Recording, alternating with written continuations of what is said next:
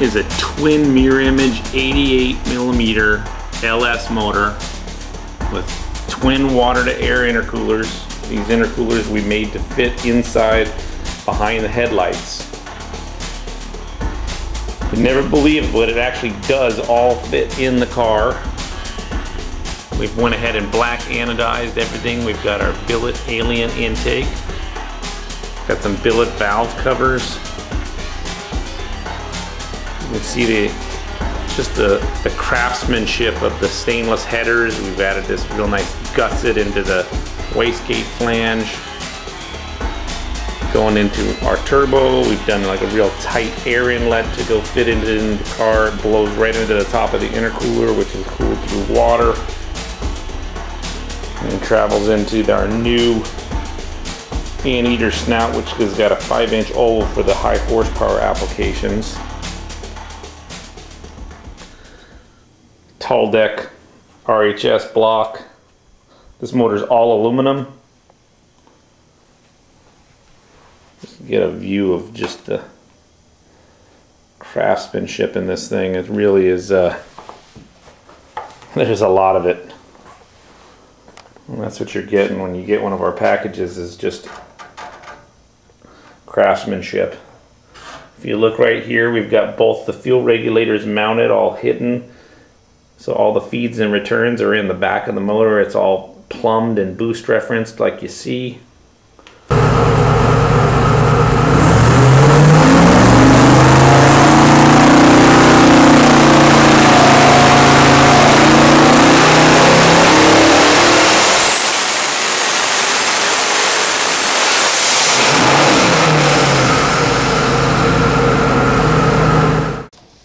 So here's the whole wiring harness, plumbed right out of the back of the manifold. This has this controls 16 injectors. This has the map sensor, the air temperature sensor, the throttle position sensor.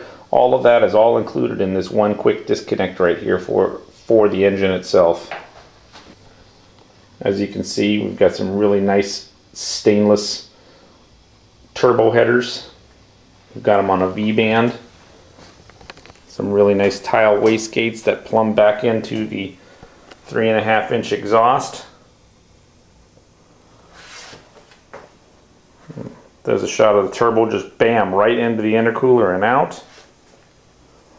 There's a Tech 3R electromotive fuel management system. This controls all 16 injectors, everything. I really like these systems and we've done some nice things with the harness where we've added you know, Raychem for all the sleeving. We've got, you know, some stabilizers for uh, the, the wire harness itself.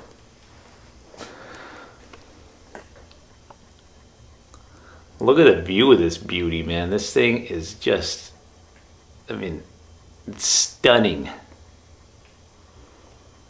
It's got that hardcore industrial look. And well, is totally something that's we designed this as a street driven engine. Cams only in the mid 230s at 50. Very mellow spring package. Just a beautiful setup.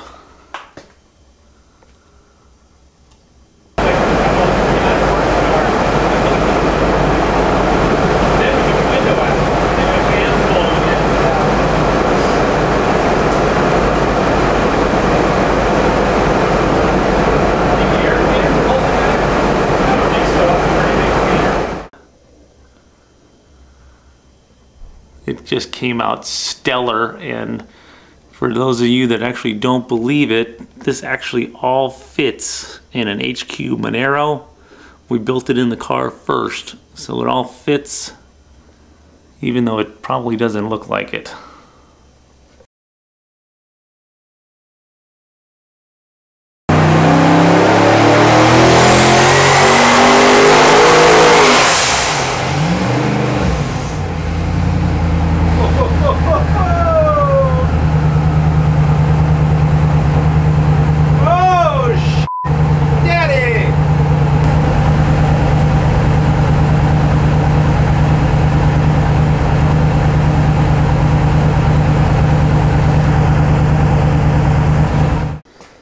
down to the throttle bracket. We've even got detail on the throttle bracket. We made the linkage from stainless.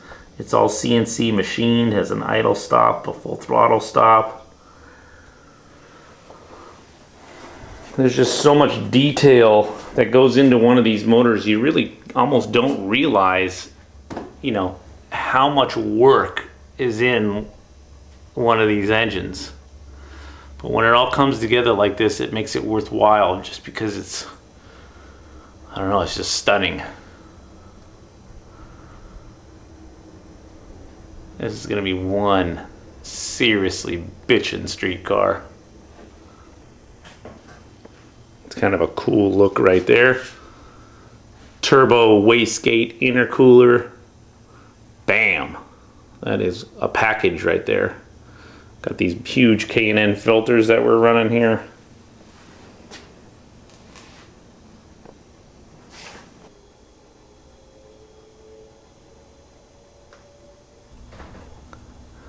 Look at that. That is 10 pounds of in a one pound bag. That is some serious plumbing going on there. From the stainless headers to the stainless hard lines down to the intercoolers to the air cleaner tubes.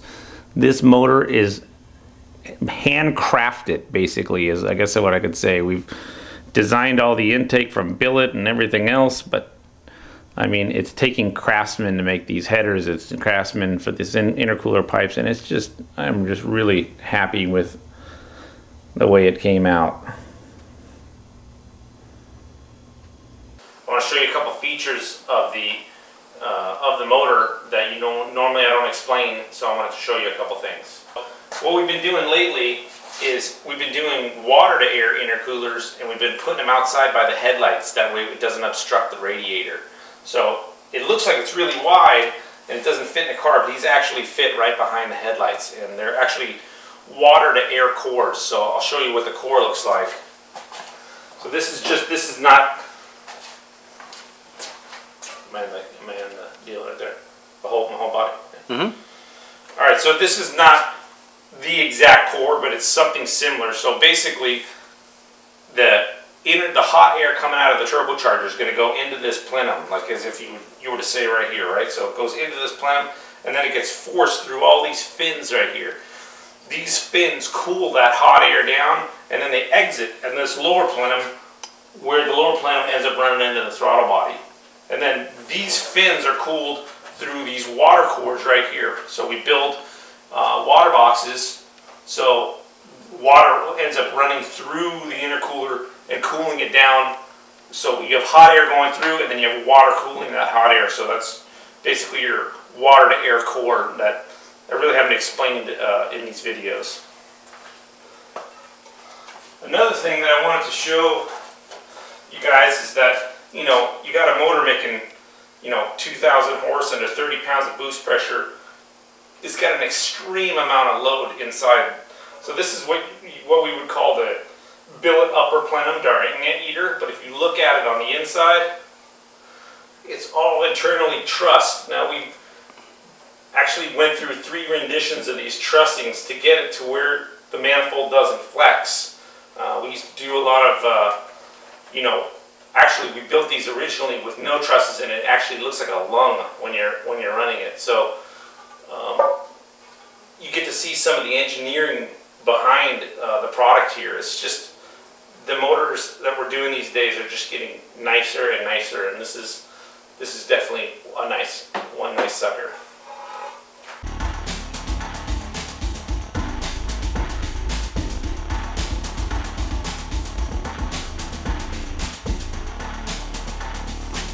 Okay, so I'm kind of going to give you a little brief. I'm sure some of you out there are wondering what all this stuff is because it always looks like a science project. So You've got your four exhaust pipes, they collect into what we call a four into one collector. And from there they go into this transition piece which shoots into the turbo. The turbo builds up pressure, the XX pressure is uh, relieved by what's called a wastegate. This is the wastegate. And this wastegate will relieve the pressure to whatever spring pressure we set in this diaphragm and spring section right here.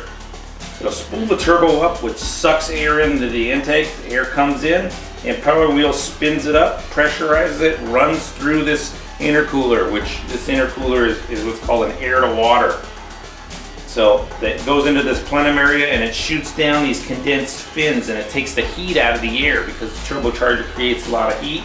And then the cool air exits out of the intercooler into the intake plumbing into the motor.